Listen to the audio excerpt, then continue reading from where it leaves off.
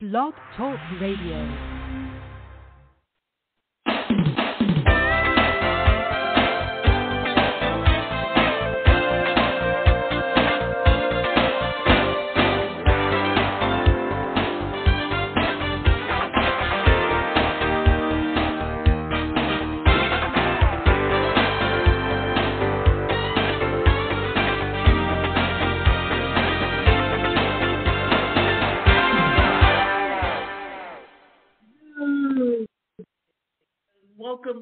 Week's segment of Live Without Limits. I'm your host, Davida Shensky, and today our show is titled Influencer Marketing in 2021 How to Work with Social Media Influencers. Because in today's marketplace, having a presence online is so important, and being able to influence people online is the best way to sell your products. And if you're not an influencer, then you have to find someone who is that can truly help you with growing and expanding your business. That means Facebook, Snapchat, Instagram, Twitter, Spotify, even Instant Messenger, which you have on Facebook. Then, too, you can set up your chat box, which is when you have a Facebook fan page that you can create an interaction with people when they visit your fan page and ask them questions and start developing that relationship. In 2021, influencer marketing's efficiency cannot be doubted in the slightest.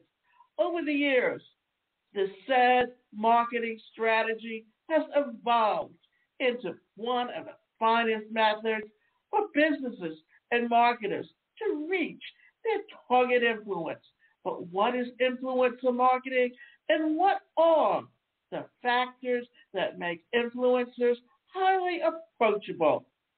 Influencer marketing is a type of social media marketing in which advertisers team up with individuals boasting an established fan base across one or more of social media platforms such as Instagram, Facebook, YouTube, and so on for the promotion of a product or service. However, working with social media influencers isn't as simple a task as one may want it to be. In fact, there are several variables that determine the success rate of collaboration. And in this show, what we're going to do is shed some light on some important tips for you to learn and how to work with social media stars. And what I'm going to do is back up for a second because I think this is an important thing to recognize. You've been seeing a lot about Harry and Meghan, and you remember uh, Olivia Jade. Well, what happened, what, what you're dealing with there is that they have a name, and that name is what they're basically basing that influencing market around. For instance, Giannulli, or uh, Olivia Jade, who was her mother? Lori Loughlin. How did her mother get to where she was? Well, she happened to be in a successful show, but her talent is relatively limited. And then when her when her children got college age or were ready to graduate high school, what did she do? Instead of taking and, and making sure that they had the good education so that they could get good grades on the SEC, on the SATs, what happened? They went the short route and looked for a way to get them in the best colleges, whether they wanted to be in, in college or not. And what was Giannulli doing most of the time? Instead of studying, she was either putting on pretty clothes and dresses and taking and doing photo ops with mom and dad, or she was on YouTube creating videos on how to put on makeup.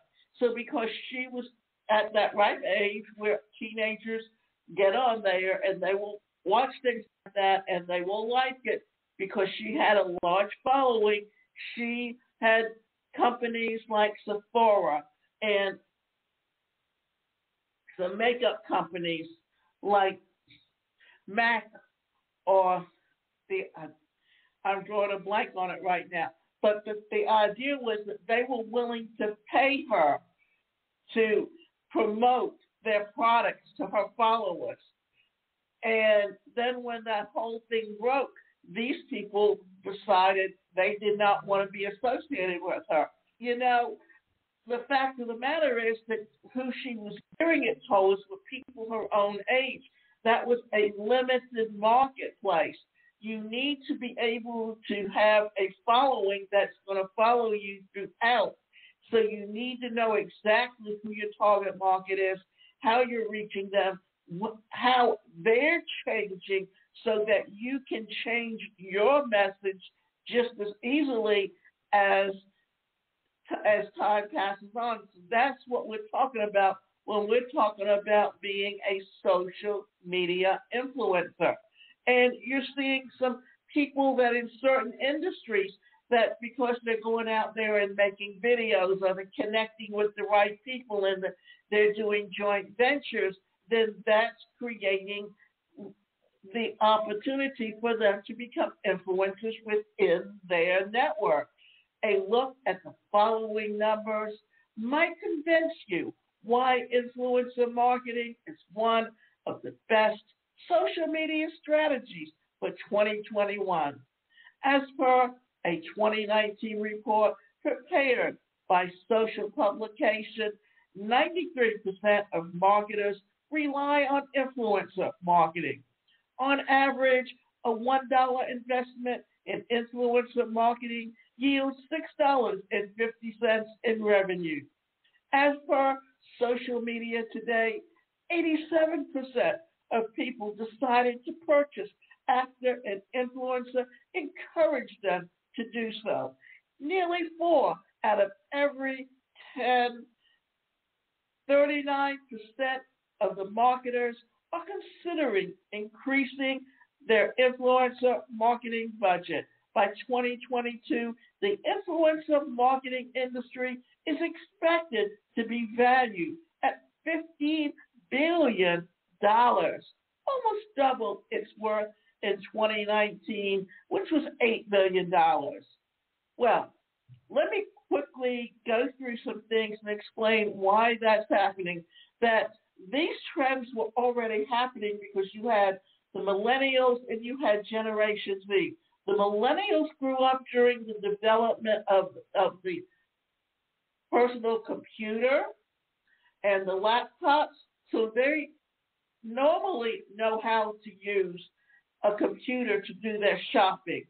Then you have Generation Z who were considered the digital age, and if you realize that you've got digital products online that you can buy and you can go online into e-commerce stores and buy products online. Basically, what is Amazon? Amazon is a website that has digital products, physical products, almost anything that you can purchase and ship out and have delivered. And this trend was go, has been going on since really the very latter part of the, the 20th century, but started really growing with remote workers in the 21st century. And then when the pandemic hit, people were basically not going out and, and socializing, so they were doing most of their shopping online. So being able and understanding exactly why, as we come out of the pandemic because of the vaccine, that what's going on is you're going to still have people that it will be normalizing their lives, but there's they now know how to go online and purchase products and have it delivered. And you were seeing that more and more because especially during the Christmas season, remember when they would talk about Cyber Monday and how every year Cyber Monday kept growing in numbers because people were realizing that if you go to the mall and shop and you got all those packages to carry, it's easy to lose things. But if you get it delivered to your home, then it's far easier to know. And then you that that creates other problems, but at the same time, you can understand exactly what we're talking about and why social media marketing and becoming an influencer in that industry is a growing opportunity to create a job for yourself and get paid for it. So, therefore, it's high time for businesses to benefit from the potential of influencer marketing, which means boost the sales, increase brand awareness, get more eyes on their products and services, learn the type of content that appeals to social media users. Working with social media influencers, there are seven steps to follow, and marketers striving to increase return on investment and reach their target audience by using influencer marketing should follow the following tips and tricks. Now, think about it. Think about what it is that you really want to learn, and by learning to do so, you can help yourself to become exactly what it is that you want. So, the first thing to look at is look for influencers whose interests align with your brands while searching for influencers and to endorse your product or service. Do not get tempted by their content right away. You need to collaborate with someone whose niche links with the staff or the stuff that you're trying to promote. Their followers will only be drawn to your product or service if they see that the influencer is genuinely committed to what he or she is promoting. Moreover, the same interests also prevent collaboration from looking fabricated. For example, an influencer promoting a vegetarian diet plan one day and then the KFC deal the next day would come across as dishonest. So reach out to those social media stars whose interests and outcomes align with the nature of product and service that you want them to promote. This is so important. And these are some of the things that people don't realize and don't understand and don't know how to incorporate. Because if you realize genuinely, what did she do? She was doing makeup. So the makeup companies knew that she was reaching people her age, so they contracted with her. And now that she's trying to get back into doing what she did, well, she doesn't have the same following in that they've they've gone on and found other people at that age and the interest of the people who were the followers that she's that she was showing makeup to, their interests have changed because teenagers, young girls, are always looking to, for makeup. But as they start going into the workforce, as they're finishing up their college years, their interests change because now they're going out to work. And it's more than just the makeup, it's the clothes, it's the way they present themselves. You, you have to be able to expand also. So understanding this and relating it all so that you as the influencer can always be relevant to the company that you're working with. Don't micromanage your influencers. The TV advertisements that most of us have grown up with watching follow an exciting approach. Such marketing campaigns and ad strategies are particular product or planned by, person, by personnel within the same organization promoting that particular product or service. However, when you rope in a social media influencer to enhance your business's reach and sales, don't dictate what they should upload. The reason is that these influencers have a better idea of the type of, of content that their followers interact with, as well as the ongoing trends that can be taken advantage of. While you are more than welcome to offer your suggestions, the influencer in question should have complete creative freedom. As you can see from what I've been talking about, this is actually a, a relatively new industry that has come out of working online and marketing online and digital marketing because social media, because of the wide variety of platforms that you're using, has grown tremendously. You can go onto Facebook and you can create Facebook Live where you're actually influencing people. So if you if you're not very good at speaking, then why not have someone else that that you hire in and, and as an independent contractor that can do that for you. That's the neat thing about having a business online is that you don't need to wear all the hats. And there's other solopreneurs that you can bring in that can also help you with with marketing online. Aim for better engagement.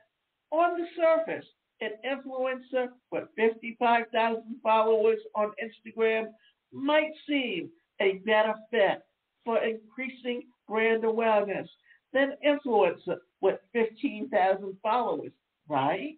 However, that's not the case at all. And here's the thing what we're talking about is we're talking about joint venturing. And when you joint venture, there it's it's a specialized niche. And back in the day, it was joint venturing to, to cross promote products, but now it's joint venturing that you're you're you're promoting cross products, but you're also doing more than that. You're learning to collaborate. You're learning to bring in people from different aspects who have this different specialties and building up a bigger team than you would be having if it was just one or two people. And being able to be a referral because I was on a five day challenge where it was talking about joint venturing and he was talking about your upstream and your downstream, meaning that you have someone that you've got to cultivate a relationship with for them to refer their clients to you. And then as as you solve that specific need is creating a whole other set of needs, and then you're going to refer on those clients to someone else. Well, you want to be able to recognize that the person that you're working with is has the kind of reputation and values that you do, so that you can both help each other to really expand and grow and be really good with each other. While Better Reach is impressive in its own right, it doesn't amount to much if people aren't interacting with the content. This is where micro influencers and nano influencers come into play. While only a few thousand people might follow such influencers, the engagement on their content unrivaled. This is because their fan base comprises loyal users who wouldn't hesitate to check out the promoted product or service. Avoid collaborating with influencers working with too many brands. And that's that's really the gist of it.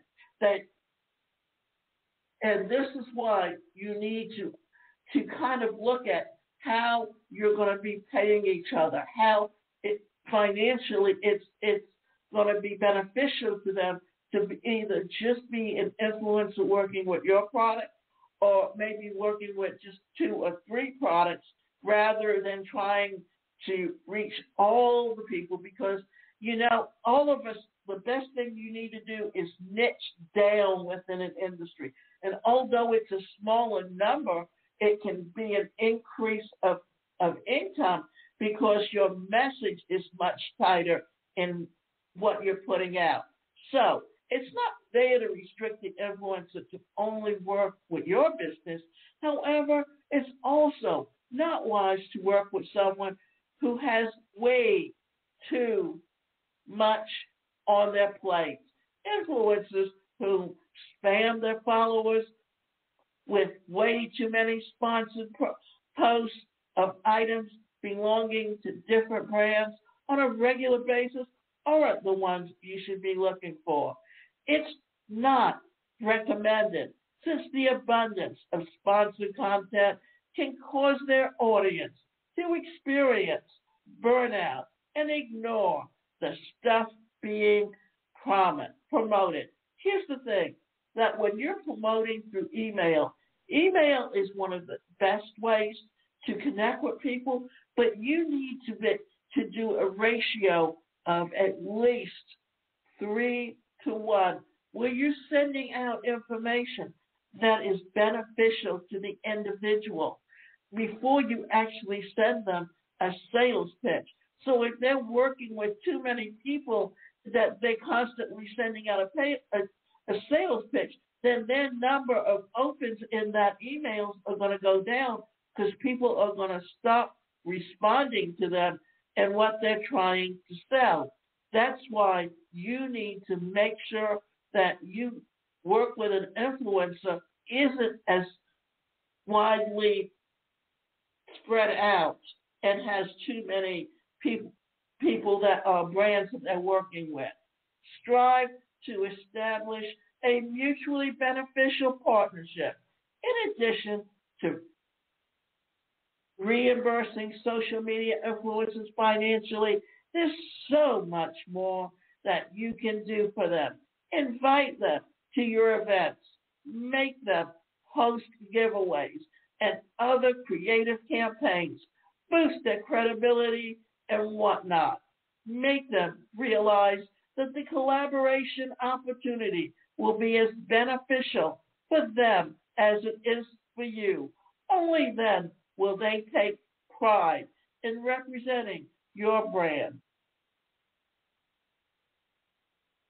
Study the influencer and plan your budget accordingly. Before hitting up an influencer, do your research on them. Study their niche and that they specialize in their audience demographics, social media analytics, and so on. Also, it goes without saying that these metrics, along with the number of followers the influencer in question has, will help you plan the budget for the campaign. You should also note that many influencers opt for a commission structure rather than collecting a definite fee. What that means is what you're doing is literally setting up an affiliate type program where they get paid a certain percentage off of sales based on what comes through a link that you give them it to send their customers to your product. Keep tabs on the campaign's performance. Your role as a marketer doesn't end when a social media influencer uploaded a sponsored product to give your brand a shout out. When hundreds, if not thousands, of likes, comments, and shares should impress you. These metrics don't fully determine whether the campaign has succeeded or not. In order to gauge how the campaign is performing, you need to find out how many people visited the link that the influencer asked them to check out. Moreover, how many of these visits turned into sales or subscriptions is also a critical factor in determining the campaign's success. And in short, measuring return on investments should be your priority. What we're talking about is this that you need to have each influencer's link linked to a different or a different list in your email marketing campaign. Therefore, you can do split tests and you can determine which which influencers that you're working with have a market or have a how influential they really are with their niche that they're working in. So social media marketing growth in recent years has been nothing short of impressive.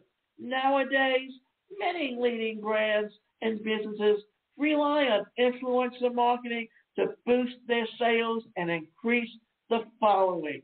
An ideal social media influencer helps a business by posting content relative to, to both their interests and the brand's ideology. Content should reach an impressive number of people and attain reasonable engagement in order to increase the return on investment of the investing party. I, I hope your introduction to influencer marketing through this show has turned out to be valuable experience for you and helped you to understand just how important influencer marketing has become today. And let me talk a little bit more about digital marketing and just how important that influencer marketing is to it. Because it's it's no longer just the fact that you are able to build a business today online. It's how you interact with people. And you can't do everything yourself. You can't wear all the hats. If you try to what is going to happen? Well then you're going to be spreading yourself out so thin that you're just going to just hate the fact that you're you're you're working from home or that you're doing what you're doing because we all have strengths and weaknesses. If we concentrate on doing what we really love to do and and actually bring in joint venture partners and outsource those things to them that they really love doing, then as a team, because it's so important today to have a good team in place for any business, even with an online store. If you're in a brick and mortar store, you still need that online presence because if you don't, you're literally leaving money on the table. And today, part of digital marketing is understanding how to use social media and influencer marketing to to influence people because in email marketing, what you're doing is you are setting up a relationship with influencer marketing. You're creating that relationship because you're getting someone that knows a lot about your product and can promote it because the people who grew up with the MTV era, they're used to watching short videos. Like, if you notice, what is these, these music videos? What happened? Every entertainer, everyone who who who makes albums, and some people have even been discovered by the short videos that they put online. Uh, for instance, how did Justin Bieber get get his start? Well, Usher saw his video when he was online as a kid. So remember, you can go to my website, and that website is the number one personal career coach.com, and you can sign up for coaching. And we can work with you to help you to understand how to incorporate digital marketing and influencer marketing into your business.